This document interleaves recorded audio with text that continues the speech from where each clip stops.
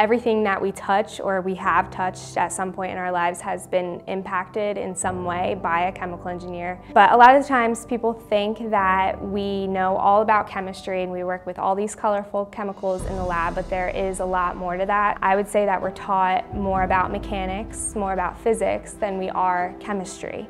And so a lot of our classes are like fluid mechanics and thermodynamics, where we learn about energy balances. In high school, I really didn't know what I wanted to do, but I knew that I loved all my science classes. I loved my math classes, and it was actually something that I was good at. So I kind of just took that and did some quick research and saw chemical engineering, and I was like, okay, I'm gonna roll with this. One of my major fears about being an engineer was that I wouldn't have any social life. I was completely wrong, even the first day that I got there.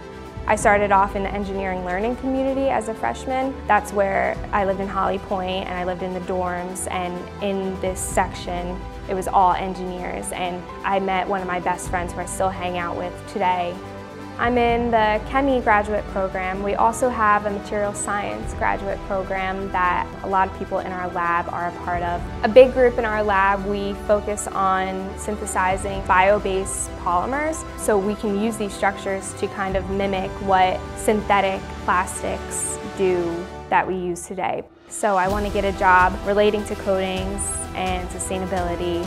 I am happy doing the work that I do here and I would like to continue that and continue to learn more outside of Rowan University. If you genuinely like to problem solve and you're curious about how different processes for anything and everything and you want to know how those work, I would definitely say chemical engineering is right for you. It is scary, but it's also a nice challenge.